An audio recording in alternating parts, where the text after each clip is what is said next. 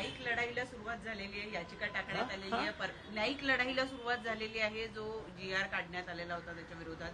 परवाच तारीख सुद्धा मिळाली असं कळतंय. काय सांगता? नाही आता आम्ही तर पहि- पहिल्यापासून मी सांगतोच आहे की असं आहे ना की ओबीसीवर जर अन्याय होत असेल आणि तो होतो आहे स्पष्टपणे दिसत आहे की आमचं आरक्षण संपुष्टात येत आहे आता. कारण त्याच्यामध्ये संपूर्ण मराठा समाज हा कुणबी दाखले देऊन घुसवण्यात आलेला आहे बॅकडोअर एंट्रीने आमचं म्हणणं होतं की मराठा समाजाला आरक्षण द्या ते वेगळं द्या. त्याच्यासाठी तुम्ही आयोगाची स्थापना का केलंय काम सुरू झालेलं आहे ते क्युरेटिव्ह पिटिशन करतात ते द्या. परंतु जे आहे झुंडशाहीच्या पुढे नमतं घेऊन बॅकडोअर एंट्रीने जे आहे लाखो दाखले देण्याचं काम सुरू आहे. परत त्यांचे सगळे सोयरीने अमकनी तमक. त्याच्यामुळे ओबीसी भटक्या विमुक्त यांचं आरक्षण संपुष्टात येत आहे. मग आम्हाला दुसरं पर्याय काय? पर्याय हाच आहे. की वेगवेगळे आमदार आमदारांपासून मंत्र्यांपर्यंत कैफियत मांडणं. कोर्टात जाऊन आमची कैफियत सादर करणं. लोकांची जागृती करत रॅली आणि जे काही मोर्चे काढून आक्रोश जो आहे तो मांडणं लोकशाही मा- ने जे काय आम्हाला अधिकार दिले आमच्यावरच्या या होत असणाऱ्या या संकटाच्या विरुद्ध लढण्यासाठी ते सगळी आयुध आम्ही वापरतो ते वापरणार. त्याप्रमाणे आम्ही गेलो. आंदोलन उपोषणचा इशारा दिलेला आहे. सरकार कुठेतरी दहा आहे. तारखेची तारीख दिली. हो. तर ते ठीक आहे. आता त्यांचं काय आता ताबडतोब आमचे काय काही सचिव असतील मध्यस्थ असतील मंत्री असतील ताबडतोब जातील. त्या गाड्या बिड्या तयार होत असतील इमिजिएट जातील. त्याची काही काळजी करू नका जी आर काढायचे असतील ना ते पण फटाफट निघतील नाही पण सर मंडल कमिशनलाच कुठेतरी आव्हान द्यायचा प्रयत्न केला जातो मंडळ द्या ना त्यांनी. त्यांनी द्यायलाच पाहिजे आव्हान. काय? आणि त्याच्या त्यांच्या एवढा ज्ञानी जो आहे ह्या हिंदुस्थानात दुसरं कोणी आहे का? आणि ताकद पण खूप आहे ना. तीन कोटी लोक मराठा ते मुंबईत आणणार होते. ते बघितलं सगळ्यांनी तीन कोटी किती आहे तिकडे त्या भाषेला सुद्धा. म्हणजे ज्याला लाख म्हणजे समजत नाही आणि कोटी म्हणजे समजत नाही. अशी माणसं जे आहे मंडळ आयोगाला देशामध्ये विरोध करणार आहे. त्याने ते अवश्य करावं. त्यांची हिंमत असेल ना तर त्यांनी मंडळ आयोगाच्या विरुद्ध जे आहे आवाज द्यावा आणि त्याच्या विरुद्ध कारवाई करावी आणि मंडळ आयोगाला जो आहे हा संपवण्याचं काम त्यांनी करून दाखवत त्याची हिंमत असेल तर. माझं चॅलेंज आव्हान आहे त्यांना. न्यायालयीन लढाई सुरू आहे मात्र दुसरीकडे मुख्यमंत्री सुद्धा मुख्यमंत्री जे आहे ते मुख्यमंत्र्यांना विचारा. मी माझे प्रश्न माझे मी छगन भुजबळ म्हणून बोलतो आहे. हा? बाकीचे प्रश्न बाकीच्यांना विचारा कोण काय करते ते कोणाला मात्र या जोरदार सगळ्यामध्ये राष्ट्रवादीची आहे, असेल वेगवेगळ्या किंवा स्तरातून दादांची भूमिका असेल किंवा मग भाजपची असेल भूमिका कुठेतरी सावधगिरीची पाहायला मिळते त्यांना विचारा. व्यक्त- त्यांना विचारा.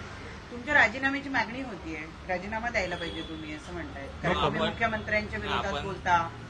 नो कॉमेंट आपण राजीनामा दिलेला आहे असं देखील आता वृत्तपत्रांमध्ये बातम्या आलेल्या आहेत. नेमकी काय स्पष्टता आहे? नो कॉमेंट एक महत्वाचं नारायण राणे यांनी म्हटलं की कुणबी आणि मराठी हे वेगवेगळे आहेत. त्यांच्या अध्यक्षपदाखाली जी काही समिती होती राणे समिती त्याच्यामध्ये कुणबी मराठी एकच आहेत असं नमूद करण्यात आलं. मला माहीत नाही परंतु मराठा समाजाचे जे माहितगार जाणकार असे नेते आहेत कार्यकर्ते आहेत त्यांचं हे म्हणणं आहे की आम्हाला वेगळं आरक्षण द्या. आम्हाला कुणबी म्हणून आरक्षण देऊ नका. आणि बरं आमचं पण म्हणणं तेच आहे. त्यामुळे दोन वेळा कायदा तयार करण्यात आले.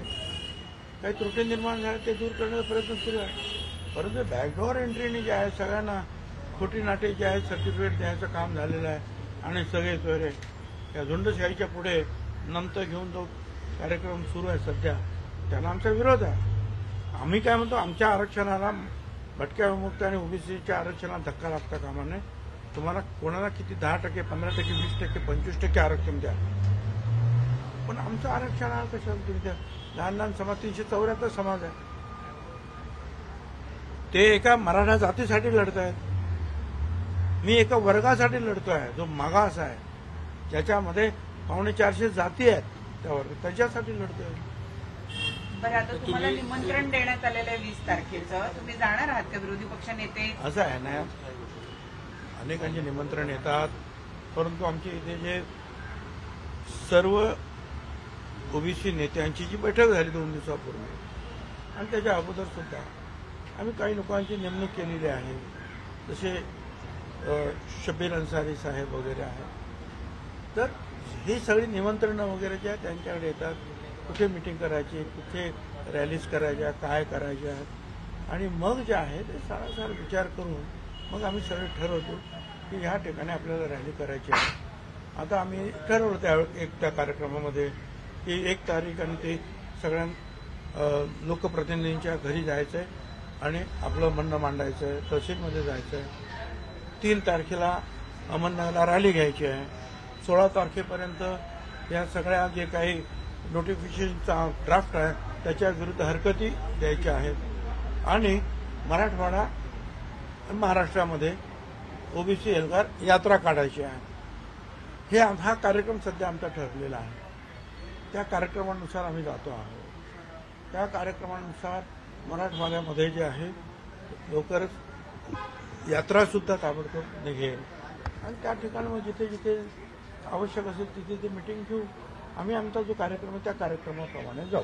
म्हणताय की बॅकडोर एंट्री केली जाते पण तुमच्यासोबत जे. आहेत धनगर सरकारमधली व्यक्ती तू बॅकडोर एंट्री दिली जाते असा तुमचा आरोप आहे. पण ही बॅकडोर एंट्री तुम्ही ज्या सरकारमध्ये आहात आहात त्यातलेच मुख्यमंत्री किंवा बाकीची त्या सरकारमधली सिस्टीम येते अशा वेळी तुम्हाला विश्वासात घेतलं जात नाही का? किंवा तुमच्याशी कोणती चर्चा केली जात नाही का? तुम्ही कॅबिनेटचा भाग आहात. बॅकडोर एंट्री जर कोण करीत असेल तर त्याची चर्चा करून थोडंच कोण देत आहे. ते तर खालच्या खाली ते त्याचे तुम्हाला पुरावे दाखवू शकतो मी. ते आणि त्याच्या विरुद्ध आम- आमच्याकडे तक्रार येतात. आम्ही आवाज उठवतो. असं कुणाला ते नसेल त्याच्यावर काय बोलायचं तुम्ही त्यांचा प्रश्न आहे. पण हे कॅबिनेटला तुम्ही उपस्थित करणार का सगळे मुद्दे? कॅबिनेट मिटिंग ज्यावेळेस होईल त्यावेळेस कॅबिनेटमध्ये या विषयावर चर्चा झाली कारण कॅबिनेटच्या समोर विषय असतात अजेंडा असतो. त्या अजेंड्याप्रमाणे जे आहे कॅबिनेट चालते. तुमचा अजेंडा माझा अजेंडा फक्त आता ओबीसी बचाव. सर भटक्या मुक्त बचाव. एवढंच आमचा अजेंडा. धनगर समाज एसटीतून रोष आरक्षण निर्माण केला मागतोय. जातो तुमच्या संदर्भात रोष निर्माण केला जातोय. नगरमध्ये तुमचे तुमचे फोटो काढण्यात आले. तुम्ही काय आव्हान कराल? कारण की ज्या पद्धतीनं रोष व्यक्त अरे केला क- करा ना. ते अहो माझे फोटो काय फाडण्यात आले माझे पुतळ्याला काय काय चपला काय मारतात? जाळतात. माझं तर जाऊ द्या.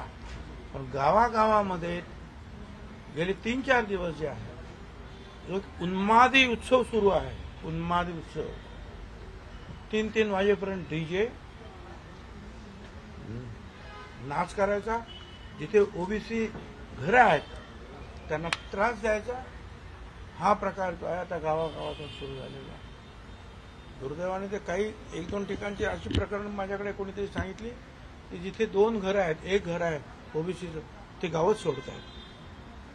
आज खालपर्यंत जे आहेत ना ही परिस्थिती. ठीक आहे आम्ही भाषण करतो आम्ही रॅलीज करतो तर ठीक. परंतु ज्या वेळेला हा विजयी उन्माद की आम्ही जिंकलो आम्ही मिळून आलो मुंबईवरून सगळं आरक्षण आमचं झाला आणि त्याचा जो उन्मादी उत्सव उत्सव उत्सव नाही. उत्सव साजरा करायला कुणाची ना नाही. उन्माद. आणि तो ओबीसीच्या विरुद्ध शिवी गाळ देत डीजेवर सुद्धा माझ्या मला शिवी गाळ देत गाणी हे सगळं आम्ही पाहतो. आहोत कदाचित मुंबई आणि तुम्हाला ते मीडियासमोर येत नाही परंतु तुमच्या गावच्या ज्या पत्रकारांना तुम्ही विचारा मीडिया पर्सनॅलिटीला काय सांगतील तुम्हाला? आज आणि ही भयंकर परिस्थिती जी आहे आज राज्यामध्ये दुर्दैवाने निर्माण झालेली आहे. तुम्हाला मिळालं काय? ठीक आहे. आम्ही कायद्याच्या कसोटीवर ते ब- किती बरोबर काय टी चूक आहे ते पाहू. पण लोकांना त्रास. गावागावातून. मला असं वाटतं की परिस्थिती जी आहे थोडीफार चिघळत चाललेली आहे. आता ज्याचा त्याचा प्रश्न आहे की त्याच्याकडे कसं पाहायचं ते? भुजबळ साहेब धनगर समाज एसटीतून आरक्षण मागतोय. यावरती आता आदिवासी आदिवासी नेते म्हणतायत की आमची सुद्धा अवस्था ओबीसी समाजासारखी झालेली आहे. बॅकडोर एंट्री होते मग? आता असं आहे त्यांचा सुद्धा धनगरांचा प्रश्न गेले कित्येक वर्ष सुरू आहे. ते हायकोर्टात सुद्धा आहे. पण तूर्त जे आहे धनगर सुद्धा समाज जो आहे हा आमच्या ओबीसीचाच भाग आज तरी आहे. त्याच्यामुळे आम्ही सगळे अगोदर हे वाचवा. याच्यासाठीच धनगर समाज आमच्या बरोबर आहे आणि आम्ही एकत्रित जो आहे धनगर समाज वंजारी समाज भटका मग हे सगळे समाज आमच्या बरोबर आहे. आम्ही सध्या तरी या गोष्टीवर जे आहे लक्ष सगळ्यांनी केंद्रित केलेलं आहे. धनगर समाजाच्या लढाईमध्ये तुमच्या आंदोलनाचं समर्थन देतो मी तुमचं आंदोलन पुढे नेतो मुस्लिम आणि धनगर हो जगातलं काय ते तर काय अमेरिकेतलं सुद्धा जे आहे ना एखादं जर ते आले ऑस्ट्रेलिया तिथे आपले जे काय निग्रो समाजाचे त्यांना आपण काय म्हणतो दुसरं? हा ते ती सगळी जी आहेत वर्णद्वेष तिकडे सुद्धा चालू आहे. तर तिथे सुद्धा ते जातील काय ह्याचं काय? जातील विश्व नेते हो पाता है? हं? विश्व नेते हो पाता है माझ्या शुभेच्छा आहेत.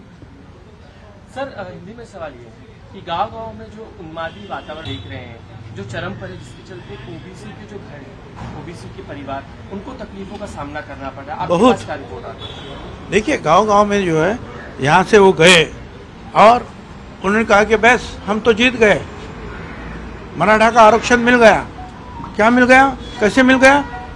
तो कुनवी सर्टिफिकेट लेकर ओबीसी में बैकडोर एंट्री से वो सारे बैठ गए। सत्तावन लाख और उनके सारे सगे संबंधी उसके ऊपर जो कानून बनाए जा रहे हैं। और हम जीत गए जीत गए करते हुए जो गए हैं गाँव गाँव में जो है देहातों में रात तीन बजे तक डीजे के ऊपर जो है गाली गलौज करते पूरे नाच गाना शुरू है। ओबीसी के घर घरों के सामने और कई जगह पर जो है मारपीट हो रही है। बहुत। खराब वातावरण नीचे हो रहा है। क्या? और मैं कहना चाहूँगा पुलिस फोर्स को भी। इसमें आप तुरंत इन चीज़ों को रोकना चाहिए। कानून है। दस बजे के बाद कुछ आवाज़ नहीं करेगा। क्या उनके लिए कुछ कानून नहीं है? उनकी तो सभाएँ रात को तीन तीन बजे होती थी। वही अभी भी चालू है। तीन तीन बजे तक डीजे जो है, जानबूझकर किसी ओबीसी के घर पर पिछड़े के घर पर जाकर गाली गलौज कर हमको तो गाली गलौज जो ओपनली चालू है शुरू है। धमकियाँ भी मिलती सब कुछ शुरू है धमकियाँ आती हैं थ्रेट्स आते हैं खत्म करेंगे ये करेंगे वो करेंगे। वो तो चला अभी उसकी भी आदत हो गई जो होना है वो देखेंगे। सर, पर कम से कम जो है जनता को जो है गरीब लोगों को बचाने की तो कोशिश हो जाए। मुख्यमंत्री एक नाथ शिंदे भी खुद जाके वहाँ पे खड़े होते हैं। कहीं ना कहीं सरकार सरेंडर है। ऐसी स्थिति उनको लगती है, इसीलिए ज़्यादा उन्माद है। क्या मुझे नहीं मालूम। आप इसके ऊपर जो है, आप खुद टिप्पणी कर सकते हैं। उन्माद है, ये तो मैं जान रहा हूँ। अब उन्माद इतना क्यों पैदा हुआ? ये तो आप लोग जा सब लोग उसके ऊपर जो है ध्यान दे दें, गौर से। फिर मालूम पड़ेगा, मुझे नहीं मालूम क्या है। सर अगर वडट्टी इतना? वडट्टीवार आपको आमंत्रित कर रहे हैं कि आप शामिल हुई वो मोर्चे का आयोजन कर रहे हैं। आप जाएँगे एक कहीं ना कहीं असंगठित नेतृत्व की और संगठित प्रयास देखिए मैं वरेटीवार हालाँकि पहले मीटिंग में आए दूसरे दिन जो है उन्होंने हमारे खिलाफ पूरी यू टर्न लेकर बातें कही। हमने कुछ भी नहीं कहा और आज भी नहीं कुछ कहेंगे। फिर वो चाहते हैं कि मैं फिर से इस काम को जुड़ना चाहता उसको हम कहते हैं ठीक है हमें कोई कोई प्रॉब्लम नहीं है। हमने उनको जो है वेलकम किया कि करो भाई ओबीसी का काम करो। मगर यहाँ जो है हमारे सारे ओबीसी अलग अलग पार्टियों के हैं अलग अलग जातियों के जो हैं, ये सब एक है। और वो लोग जो है, वो प्रोग्राम हमारा तय करते हैं और हमारे निमंत्रक है शब्बीर अंसारी साहब। वो डिक्लेयर करते हैं कि प्रोग्राम क्या है रैलीज कहाँ होगी। जैसे कि अभी तय हुआ है। एक तारीख को सारे सांसद हैं, विधायक हैं, उनके घरों पर जाएँगे और उनको कहेंगे कि ओबीसी का आरक्षण बचाओ, तहसील पर जाएँगे, कहेंगे बचाओ। तीन तारीख को अहमदनगर पर रैली होगी। उसके, उसमें जो है सबको शामिल होने का जो है निमंत्रण दिया गया है। और फिर 16 तारीख तक ये जो नए नए जो है, ये कुछ नोटिफिकेशन आ रहे हैं उसका जो ड्राफ्ट वगैरह जो आया आ रहा उसके ऊपर जो ऑब्जेक्शंस लेना है तो लाखों की तादाद में वो काम शुरू है। और साथ साथ जो है एक कमेटी फॉर्म हुई है जहाँ अलग अलग पार्टी और अलग अलग जातियों के लोग हैं विशेषतः मराठवाड़ा से। वो चौकआउट कर रहे हैं तय कर रहे हैं कि वहाँ ओबीसी एल्गार यात्रा निकलेगी। और वो कितने दिन निकलेगी कहाँ रुकेगी कहाँ रैलीज होगी कहाँ मीटिंग्स होगी हम उसके मुताबिक जाएँगे। सर आप ओबीसी के राष्ट्रीय स्तर के भी नेता हैं। क्या राष्ट्रीय स्तर पर से आपको किसी ओबीसी नेता का फ़ोन आया है? क्या वो आपसे जुड़ने की बात कह रहे हैं आपके आंदोलन को अपना समर्थन दे रहे हैं? किस तरह की बातचीत राष्ट्रीय स्तर के देखिए राष्ट्रीय स्तर पे राष्ट्रीय स्तर पर ये बात तब जाएँगी जब आप हिंदी अंग्रेज़ी ये जो मीडिया है, वो वहाँ तक यहाँ का जो संकट है, वहाँ तक पहुंचाएँगे। यहाँ का जो दुख है, वहाँ तक पहुंचाएँगे। तब लोग वहाँ से भी जो आवाज़ करेंगे। अभी अभी तो ये ये उपोषणकर्ता लीडर जो है, मराठा का उसने तो कहा कि हम तो मंडल कमीशन की अभी खारिज कर देंगे। मैंने कहा, कहो, करो। हम सुप्रीम कोर्ट में जाएगा। हम मंडल को खत्म कर मंडल आयोग को खत्म करेगा ये आरक्षण पूरा ओबीसी का खत्म करेगा। अब वो बोला है तो वो मैं बोला कि आप करो और फिर जो है देश में क्या हलचल होती दिखेगी। सामने आएगी सारी चलो सबको सब आपको ते धन्यवाद सगळे आता ते त्यांचं ते काम करत असतील त्यांना शुभेच्छा आमचं आमचं काही म्हणणं नाही. परंतु सगळ्यांचं म्हणून आमचा हा एक कार्यक्रम सुरू आहे आणि आम्ही सगळे एकत्र येतो आणि हा कार्यक्रम आम्ही पूर्ण करतो सर धनगरांच्या कोणाला मिटिंग घ्यायचं असेल तर काय आमचं काय म्हणणं? चला लोकशाही मराठी. ऐका पहा जागरूक रहा.